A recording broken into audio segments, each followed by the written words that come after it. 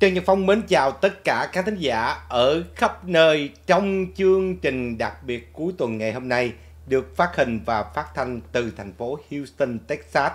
Trước hết cảm ơn tất cả bạn bè khán giả ở khắp nơi đã chọn channel của Phong để theo dõi các bản tin hàng ngày, các bài nói chuyện, phân tích, đối chiếu, so sánh trên tinh thần chủ quan của Phong cũng như là phần thảo luận của tất cả chúng ta sau mỗi một bản tin.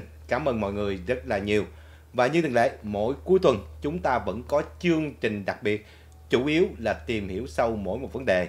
Có thể đó là vấn đề quý vị quan tâm trên mạng xã hội, có thể nó là vấn đề thời sự và cũng có thể nó là câu chuyện quá khứ lịch sử. Đó là chủ đích của chương trình đặc biệt mỗi cuối tuần của chúng ta. Và quý vị, trong chương trình đặc biệt ngày hôm nay thì lâu lắm rồi Phong không có quay lại với đề tài của Việt Nam.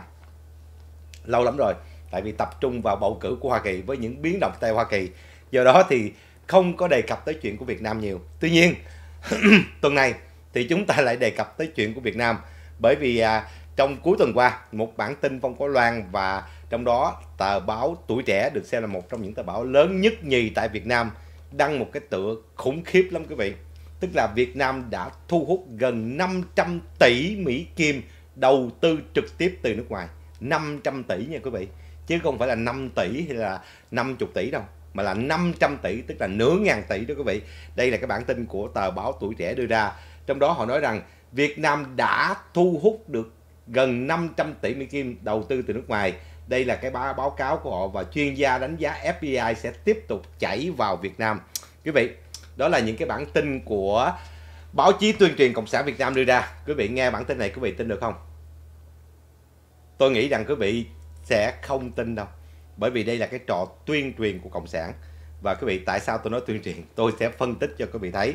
Và thứ nhất, quý vị nhìn vào cuộc sống thực tế của người dân Việt Nam ngay bây giờ. Tình trạng việc làm ra sao? Tình trạng giá cả ra sao? Và những khó khăn nào quý vị đang phải đối diện? Và quý vị nhìn thấy những cái này thực tế, tại vì quý vị sống ở Việt Nam, tôi không sống ở Việt Nam. Quý vị nhìn thấy thực tế rõ ràng nhất. Đó là cái hình ảnh kinh tế tại Việt Nam.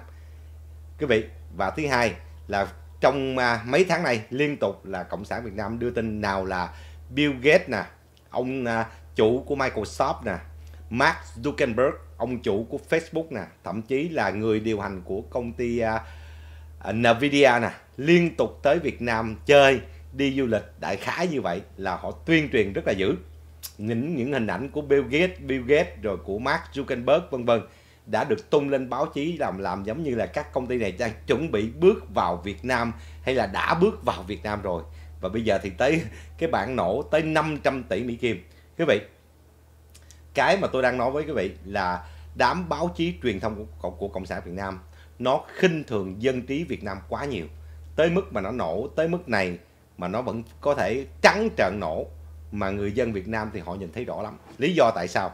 Tôi sẽ đưa ra một cái bài phân tích cho quý vị thấy. Cá nhân tôi còn làm được thì người dân Việt Nam họ làm rất dễ dàng. Và họ gần như là không còn tin tưởng vào cái à, hệ thống tuyên truyền này nữa, bởi vì nó nổ quá nhiều. Thứ nhất là tôi nói là từ cuộc sống thực tế của quý vị cho thấy là quý vị đang đối diện với những thách thức gì.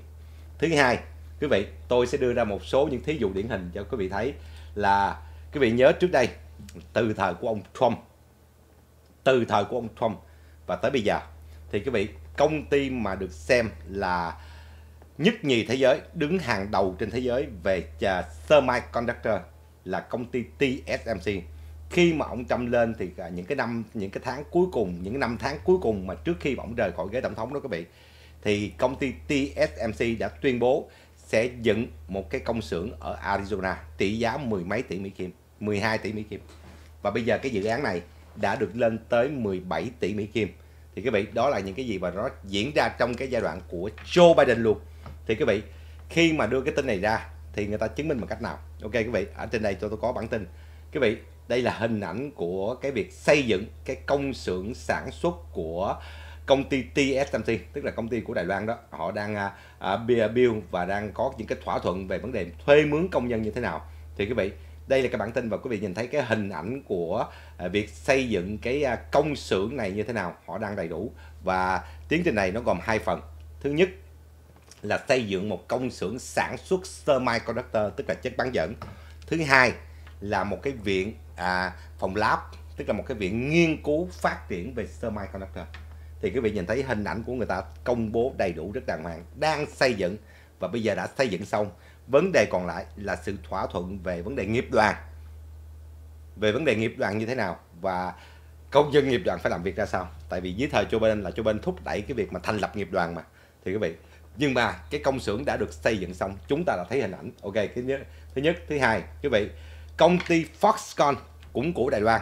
Đây là công ty cung cấp cái nguồn chip chính cho phía của à, của công ty Apple tức là iPhone và Foxconn đã tuyên bố sẽ đầu tư vào Ấn Độ và họ đầu tư chưa?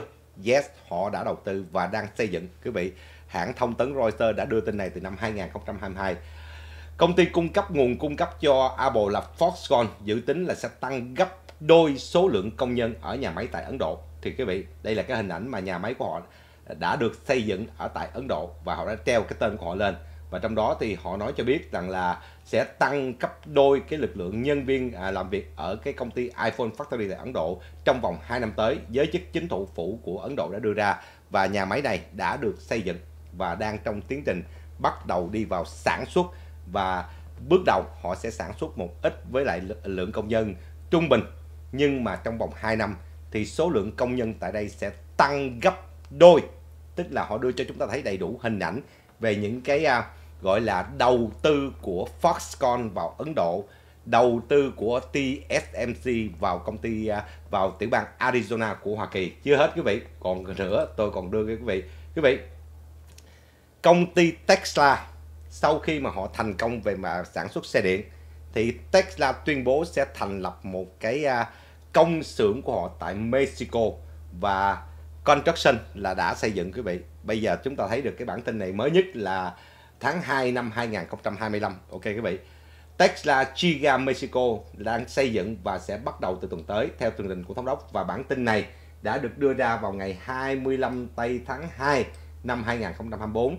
Việc xây dựng công ty Tesla ở tại Mexico đã bị trì hoãn trong vài tuần lễ qua. Tuy nhiên thì à, thống đốc của tiểu bang miền Bắc này cho biết rằng là nó sẽ được xây dựng vào tuần tới, tức là đã tiến và tiến hành xây dựng rồi quý vị. Những bản tin này tôi đưa cho quý vị là cho quý vị thấy là cái nguồn đầu tư nước ngoài nó thực tế. Họ đầu tư bao nhiêu, họ ký hợp đồng như thế nào là họ đã bắt đầu tiến hành xây dựng các cái công xưởng ở những nơi từ Ấn Độ, Arizona cho tới Mexico. Quý vị, cách đây khoảng một tuần, hai tuần thì à, tôi có đưa cái tin là phía mà bà Bộ trưởng Thương mại Hoa Kỳ, bà Gina Raimondo, bà bay tới Philippines và bà nói rằng trong các thỏa thuận ký kết vừa qua giữa các công ty của Hoa Kỳ và công ty của của và à, Philippines và chính phủ Philippines thì họ đầu tư hơn 1 tỷ Mỹ Kim vào à, thị trường Philippines. Và quý vị ở trên đây tôi đã có ngay cái bản tin là cái à, à, bản tin liên quan tới Philippines đây quý vị. Đầu tư của ngoại quốc vào Philippines và cơ hội ở tại Philippines trong đó họ đưa lên cái bản đồ cho thấy là cái nơi mà được đầu tư rất nhiều gồm hai nơi gọi là Quezon City và ở à, uh, Barukfu đây là hai cái nơi gần Manila nhưng họ đặt ở phía đông của bờ biển Philippines chứ không phải phía tây. Lý do là bởi vì thứ nhất là cái đường vận chuyển nó tiện hơn. Từ ở phía đông của Philippines đi về phía Hoa Kỳ không cần vòng qua cái eo biển Bashi Channel. Nó tiện hơn. Và thứ hai nó tránh những cái cuộc xung đột không cần thiết. Tại vì quý vị ở biển Đông và ở Philippines bây giờ nó đang có những cái lộn xộn. Do đó họ thành lập tất cả những cái à, công xưởng này ở bờ biển phía đông của Philippines, chứ không phải phía tây của Philippines. Và họ đưa lên bản đồ cho chúng ta thấy là đang trong tiến trình chuẩn bị để bắt đầu khai thác đất để mà xây dựng. Sau khi có cái ký kết chính thức và tuần rồi, hai tuần rồi thì bà Gina Raimondo đã bay tới Philippines để mà xác nhận điều này. Thì quý vị, tất cả những nguồn đầu tư nó đều cho thấy rõ đầu tư ở cái tỉnh nào và đầu tư ra sao, hình ảnh họ công bố công bố đầy đủ hết đây là cái mà tôi chia sẻ với tất cả khán thính giả ở Mỹ cũng như ở Việt Nam để thấy rõ rằng là những cái nguồn đầu tư đó là những nguồn đầu tư có thật. Rồi, bây giờ chúng ta bước qua cái tình trạng của Việt Nam đi. Quý vị, nào đưa tin Bill Gates tới Việt Nam, Mark Zuckerberg tới Việt Nam, ông chủ điều hành của Nvidia cũng tới Việt Nam. Rồi trước đó thì quý vị, cái chuyến đi của Joe Biden là người điều hành công ty Intel cũng có mặt Việt Nam. Rồi đại diện của Apple cũng có mặt luôn trong cái chuyến đi đó. Rất nhiều những thông tin. Nhưng bây giờ câu hỏi đặt ra là đã chính thức từ những cái nơi này, có ai tuyên bố chính thức đầu tư vào Việt Nam và ký kết chưa? Hay chỉ là những bản MOU đó là number one. Quý vị thấy là, ô, ký bản ghi nhớ. MOU là bản ghi nhớ thôi. Thì tôi đã từng giải thích quý vị, bản ghi nhớ tức là nó ghi lại bên đây đòi cái gì, bên kia đòi cái gì à, bên đôi bên có những cái à, yêu cầu gì nó ghi chung bản thôi. Rồi về để đôi bên duyệt xét. Chứ nó không phải là một cái agreement. Còn cái này của người ta là agreement và đã làm luôn. Nó khác biệt nhau. Đó là điều thứ nhất mà tôi cho quý vị thấy là những cái nổ của hệ thống tuyên truyền Việt Nam nó như thế nào. Rồi điểm thứ hai quan trọng nhất. Đây là cái điểm thực tế nhất. Trong các bản tin và trong các cái hình ảnh tôi đưa cho quý vị thấy hình ảnh construction đang xây dựng và bắt đầu xây dựng và kể cả những công xưởng đã được xây dựng rất rõ ràng. Vậy thì 500 tỷ Mỹ Kim này đầu tư vào ở đâu? Ở Việt Nam 64 tỉnh thành. Quý vị, mở cái bản đồ Việt Nam lên đi, để cho quý vị thấy rõ là ở cái bản đồ Việt Nam thì cái nguồn đầu tư này của các công ty nào và họ đầu tư công xưởng như thế nào.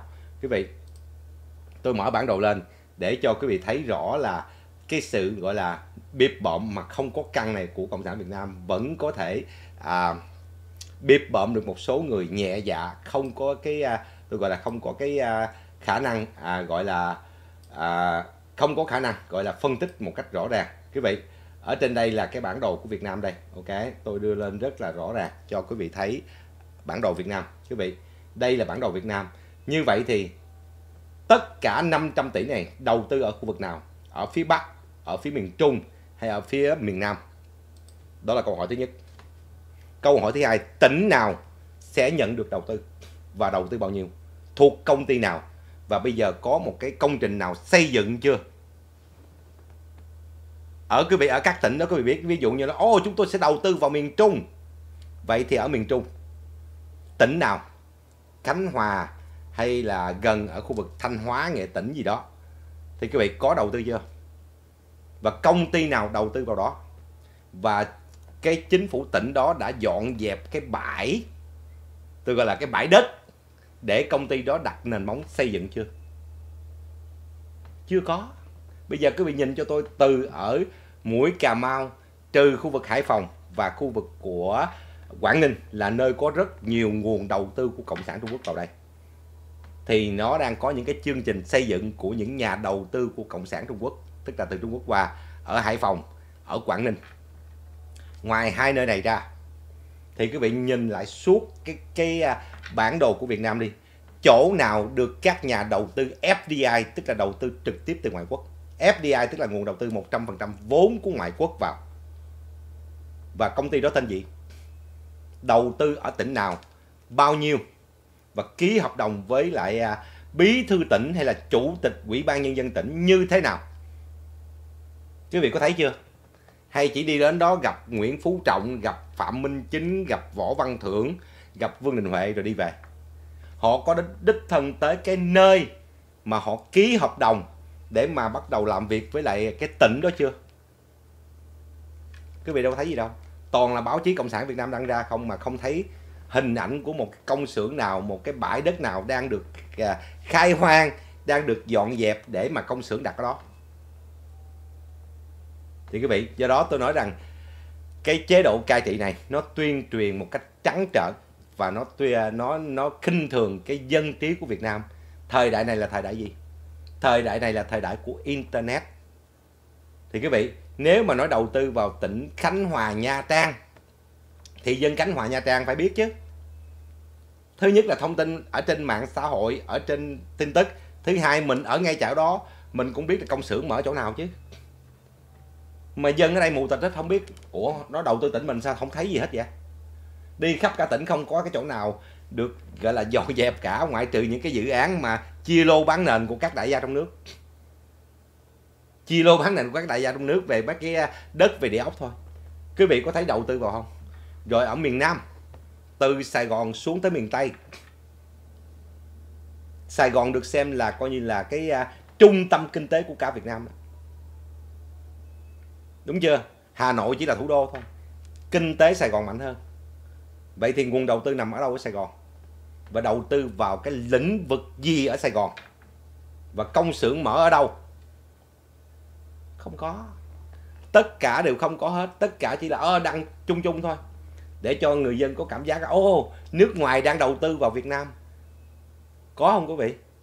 Vừa rồi Mark Zuckerberg tới Việt Nam hay là Bill Gates tới Việt Nam làm gì? Đi du lịch chơi hả? Đi du lịch xong về à? Có ký kết cái gì không? Rồi ông chủ của Nvidia tới Việt Nam làm gì? Đi ngang qua chơi xong về có ký kết cái gì không?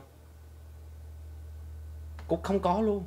Trước đó thì đi chung với lại Joe Biden là Intel Apple ký mấy cái bản MOU cuối cùng là gì quý vị? Cuối cùng sau khi Joe Biden bay về nước thì là tới cái uh, phiên họp của Đại hội đồng Liên Hiệp Quốc ở tại New York. Phạm Minh Chính đích thân bay qua Mỹ để dự cái đại hội đồng đó mà. Rồi đi gõ đi gõ cửa từng một ông à, Việt kiều, kêu liên lạc để mà giúp việc semiconductor cuối cùng bò tới Intel Intel lì xì cho được một à, hai, ba triệu gì đó để về đào tạo công nhân ngành semiconductor rồi hôm rồi cái tờ ipo của Hàn Quốc nó đăng luôn là qua bên Hàn Quốc năn nỉ. Hàn Quốc từ chối. No, chúng tôi không đầu tư. Là bởi vì thứ nhất là cái hệ thống hành chánh quá phức tạp. Thứ hai, không có đủ điện. Cho nên chúng tôi không đầu tư. Câu trả lời từ cái trang IPO của Nam Hàn đăng nguyên văn luôn đó. Thì quý vị, như vậy thì có cái nào đầu tư vô Việt Nam đâu. Trong khi đó thì ngành dệt may mất hết tất cả hợp đồng. Công nhân lớp bị sa thải lớp bị giảm giờ. Rồi lớp công ty đóng cửa. Lý do là bởi vì ngành dệt may Việt Nam tôi từng nói quý vị nguyên liệu nhập từ đâu? Nhập bông vải sợi từ Trung Quốc. Mà Trung Quốc bông vải sợi cái nơi nào nhiều nhất? Tân Cương. Là cái nơi bị à, bị thế giới lên án là diệt chủng. Hoa Kỳ lên án là diệt chủng cấm cửa các công ty Hoa Kỳ không được phép sử dụng các cái nguồn nguyên liệu từ Tân Cương do đó dệt may Việt Nam chết đứng. Có được một cái công một cái bãi gọi là à, gì à, làm về solar panel ở Quảng Ninh. Thì công ty đó là của Trung Quốc chứ không phải của Việt Nam.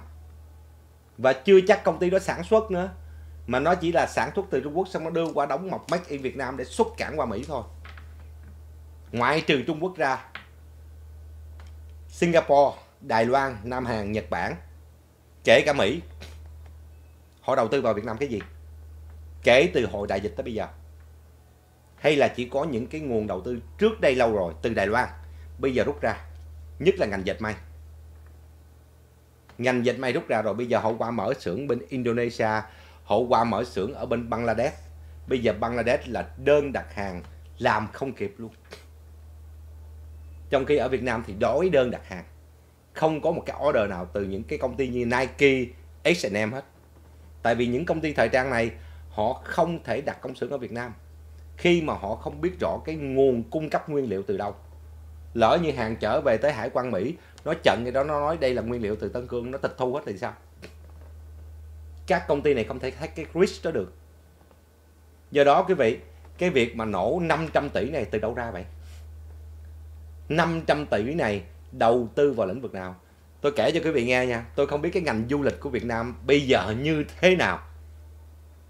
Nhưng mà tôi chắc chắn những người tới du lịch Việt Nam, nếu không phải là người Việt kiều ở bên đây, hay là những người Việt hải ngoại bên đây đó, thì cái lượng người ngoại quốc tới Việt Nam là bao nhiêu người? Từ Thái Lan đi du lịch qua Việt Nam được bao nhiêu người? Trong khi đó, kỳ rồi tôi bay qua Thái Lan, tôi tới Pattaya có hai ngày thôi. Tôi chứng kiến hàng chục đoàn du lịch từ Việt Nam qua Thái Lan.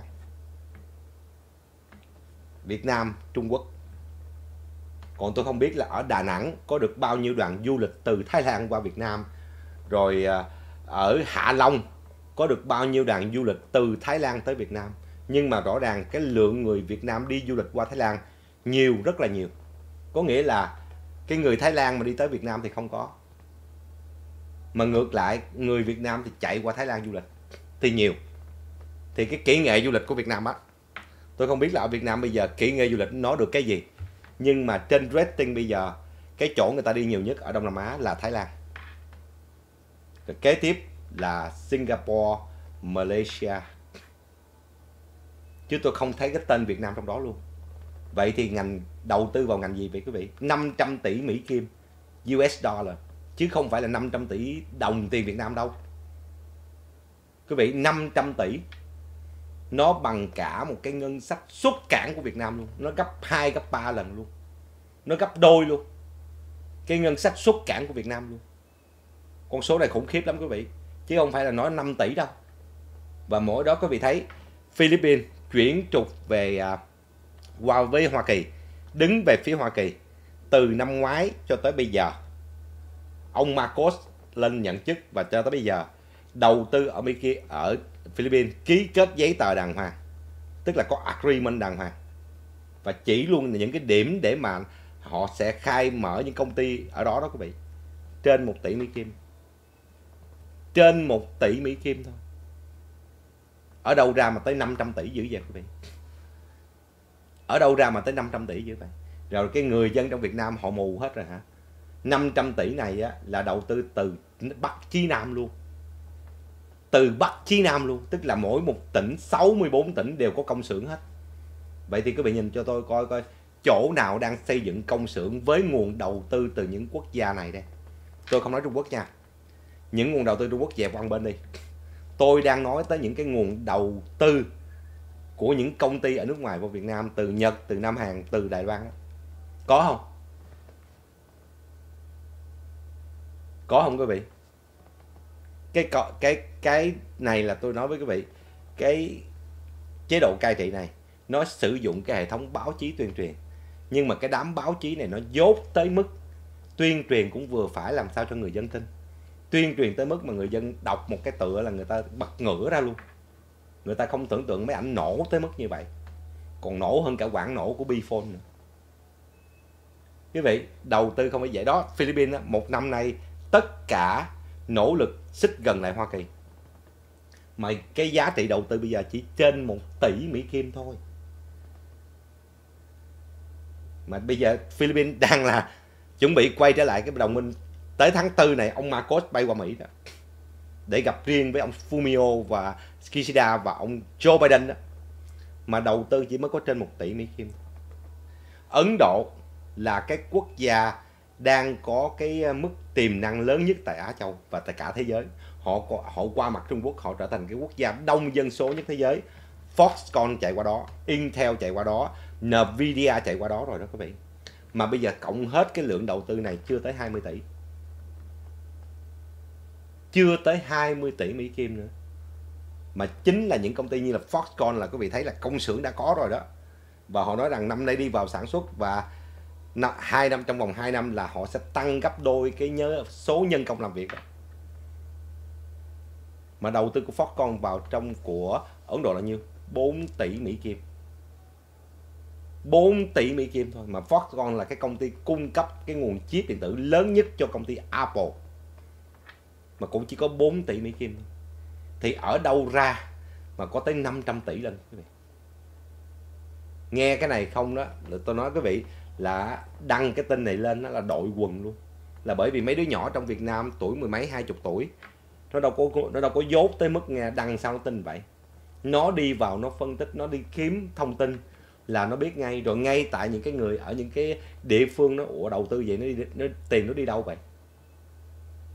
Nó nằm ở tỉnh nào? Nó nằm ở công xưởng nào? Rồi nó nằm ở kỹ nghệ nào?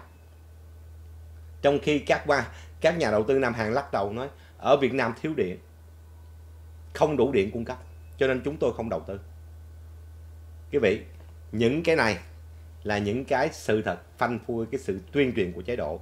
Tới giờ phút này, nó vẫn đi theo cái lề lối tuyên truyền cũ. Mà nó biết được là cái tuyên truyền này sẽ không thấm thía gì với dân Việt Nam cả. Vì dân Việt Nam bây giờ họ lên mạng xã hội, họ lên internet, họ biết đủ thông tin rồi. Họ chỉ cần bấm mấy cái chữ đó là ra hết rồi do đó quý vị, cái trò gọi là tuyên truyền này đã bắt đầu đi vào tình trạng gọi là bế tắc tức là những kẻ bây giờ cố gắng gỡ gạt thôi. Để bịp bợm người dân cho rằng là Việt Nam là thị trường tiềm năng. No. Việt Nam đang bị khủng hoảng kinh tế và bế tắc kinh tế không có đường thoát khi Hoa Kỳ chuyển trục về Á Châu.